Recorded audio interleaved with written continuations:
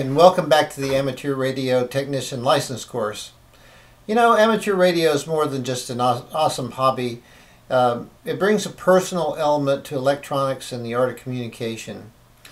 Uh, by using your equipment daily to talk to someone either across town or perhaps around the world, you're creating skills that can actually save lives in your, your community or in other parts of the world. Um, it can be before, during, after a disaster or some type of catastrophe. You know, we, we can't change such events from occurring, but we can improve the outcome and contribute to the recovery process. So, are you ready to learn? Well, let's get started. This is Lesson 4.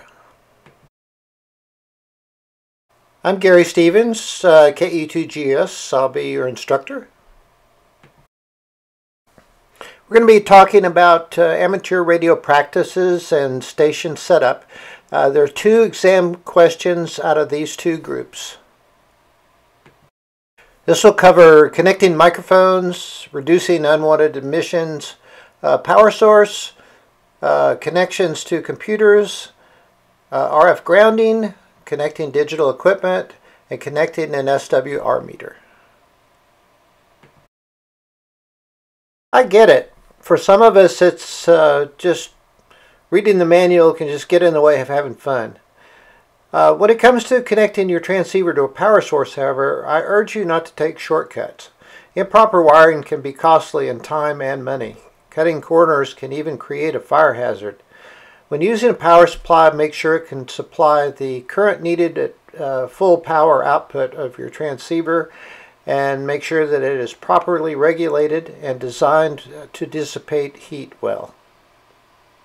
For the exam, know the following must be considered to determine the minimum current capacity needed for a transceiver's power supply.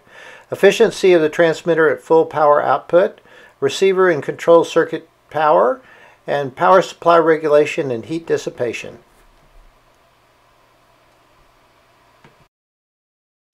Computers are useful for amateur radio in many ways. Uh, everything from logging contacts, uh, saving your contact information, uh, station logs, um, sending and receiving uh, Morse code. Uh, you can also use it to generate and decode digital signals. Uh, what you're looking at on the screen is software-defined radio uh, it's GQRX. It's available on many systems. Um, it's uh, mainly for just receive uh, only, uh, but it gives you an idea of what uh, it's capable of doing. Um, there are many other software packages that actually control radios as well. This is a program called FLDigi. Uh, it allows you to transmit or send uh, CW uh, via your sound card. Uh, it also allows you to send uh, packets. Uh, you can just type the message that you want to send in and it will send it either in Morse code or in packet and it will receive and decode the information as well. So it's pretty nifty and it kind of gives you an idea that you could do. For the exam, you need to know the following reasons that a computer can be used as part of an amateur radio station. For logging contacts and contact information, for sending and receiving CW or Morse code, and generated and decoding digital signals. When connecting uh, your transceiver either to the battery in your car or to a power supply, you need to uh, make sure that you have an ample gauge uh, or the right gauge wire that can handle the current and you also want to keep the leads as short as possible and that uh, helps uh, with the current uh, carrying capability. Uh, for the exam, know that to avoid voltage falling below the, that needed for proper operation, the wiring between the power source and the radio should be heavy gauge wire and be kept as short as possible. While for the exam you need to know that the microphone or line input of the computer sound card port is connected to a transceiver's headphone or speaker output for operation or operating uh, digital modes, I would like to tell you that I would advise that you use some type of interface or sound card interface, even if uh, it's just a couple of transformers, uh, one-to-one 600 ohm transformers, uh, which are typically used for audio use uh, because uh, improper wiring or a short could either damage your computer or your radio or both. So just be forewarned. SWR is an acronym for standing wave ratio. An SWR meter simply measures how well a transceiver is matched or balanced with a load, which is typically an antenna. Uh, connecting the meter is always in series, in that the output of the transceiver goes to the input of the meter and the output of the meter goes to the antenna feed line. For the exam, know that the proper location for an external SWR meter is in series with the feed line between the transmitter and the antenna. One common type of uh, radio computer interface is called a TNC, which stands for Terminal Node Controller. Many radios have a special connection cable available to interconnect with a TNC.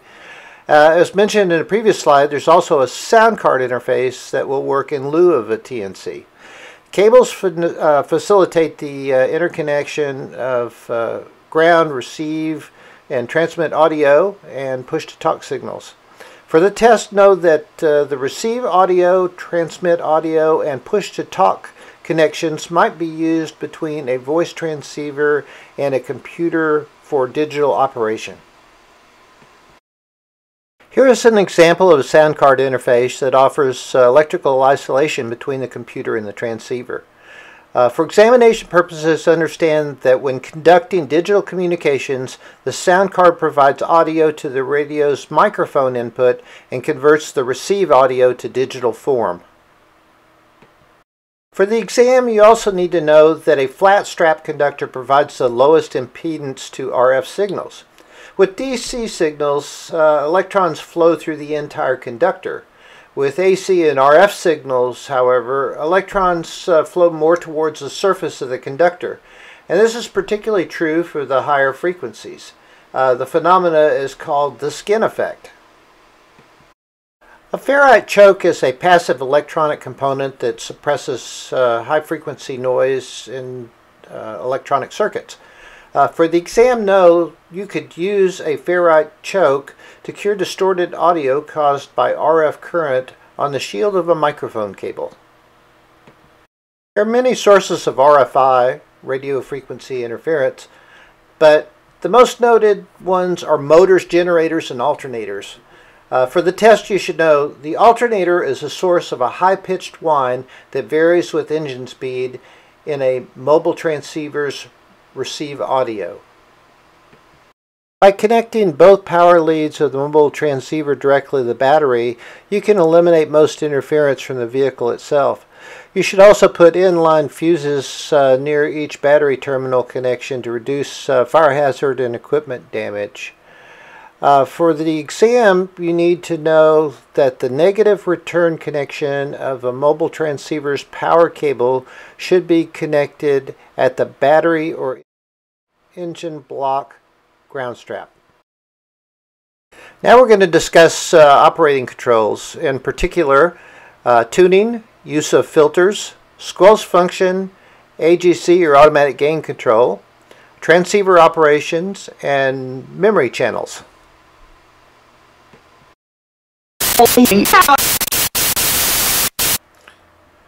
You need to know for the exam if a transmitter is operated with the microphone gain set too high, the output signal might become distorted, like in the previous example.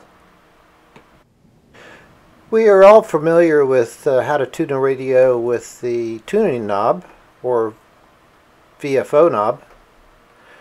But you can also tune a radio uh, with a keypad.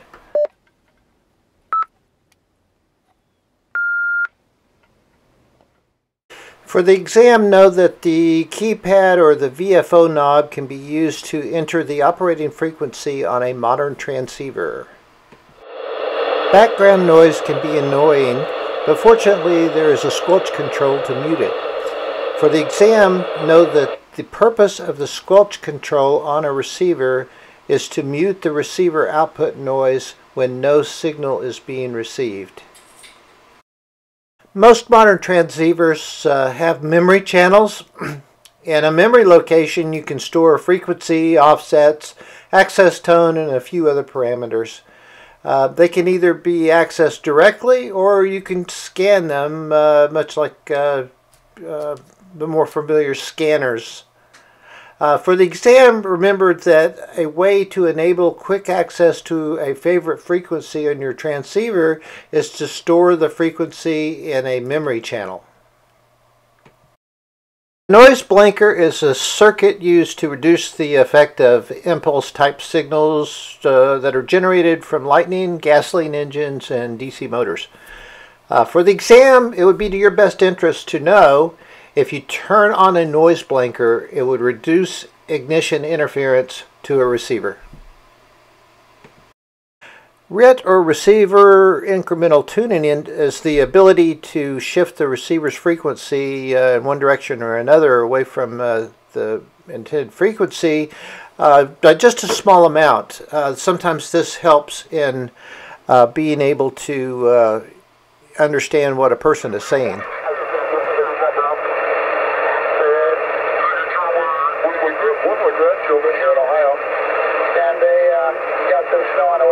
Which was okay. She got a four-wheel drive vehicle, and that helped out a lot. You should know that a receiver RIT or a clarifier could be used if the voice pitch of a single sideband signal seems too high or too low. You also need to know that the term uh, RIT means receiver incremental tuning. By selecting the proper mode on your transceiver, you're changing the receiver bandwidth uh, and filtering out most of the unwanted noise. For the exam, know that the advantage of having multiple receive bandwidth choices on a multi-mode transceiver uh, is, is that it uh, permits noise or interference reduction by selecting a bandwidth matching the mode. Receiver filters are based on the mode of operation. a phone or voice filter is a 2400 hertz uh, filter which passes uh, frequencies that are in our range of hearing. Know that 2400 hertz uh, is the appropriate receiver filter bandwidth uh, for minimizing noise and interference for a single sideband reception. Also know 500 Hertz is the appropriate uh, receiver filter bandwidth for minimizing noise and interference for CW or Morse code reception. Automatic Gain Controller AGC is a closed loop feedback uh, regulating circuit. Uh, the purpose is just to control the signal amplitude at its output despite any variations uh, in the input signal. For the exam, know the function of automatic gain control or AGC is to keep the received audio relatively constant. Again, you should know uh, a noise blanker could be used to remove power line noise or ignition noise. If your transceiver has a uh, memory, it probably has a scan function that allows you to uh, scan through different frequencies until we find one that's in use.